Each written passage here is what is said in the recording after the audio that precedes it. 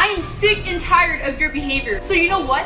I'm gonna take away your- Not my phone, not my phone. Um, what's your favorite thing in this room? Um, this hanger. I'm taking away your hanger. What you gonna say about that, huh? Oh man,